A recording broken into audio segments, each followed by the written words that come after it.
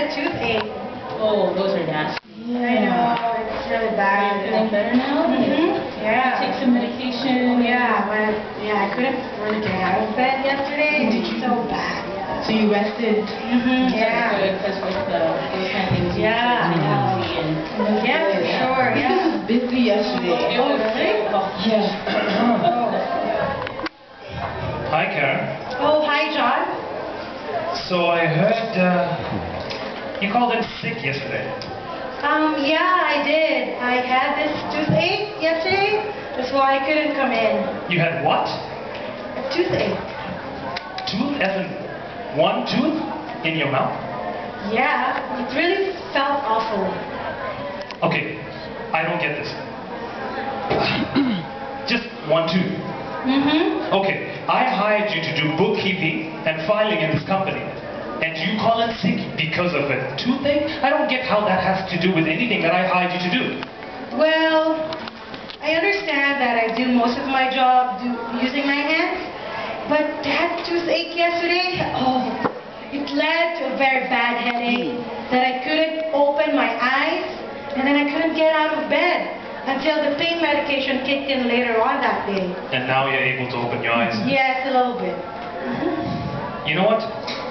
I'm glad you're here. Now just keep filing, do some work, which is what I hired you to do. Thanks, John. I'm glad I'm feeling Keep better filing. too. Yeah.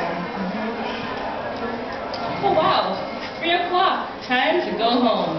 Lisa, you almost ready? Yeah, it's just wrapping up now. We can walk to the parking lot together. Sounds good to me. Mm-hmm. Karen, it looks like you're still wrapping up. We'll see you tomorrow then. Yeah, I still have a lot of backlogs from yesterday, so you girls go ahead and have a good evening. I'm just gonna go to the training room.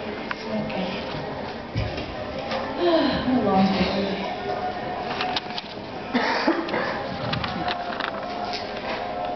Lisa, hmm did you notice the manager seemed surprised that Karen missed work yesterday because of her toothache?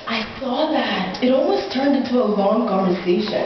It seemed like he couldn't initially understand the relationship between Karen's toothache and her working with files and documents. Yeah, he was talking like he never had a toothache before, or even had a part of his body hurt like really bad. Oh, these things are so painful.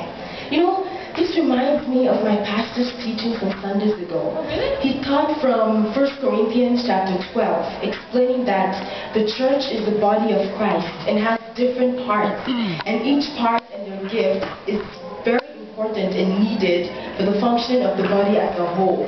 He explained that no one part of the body is more important than the other.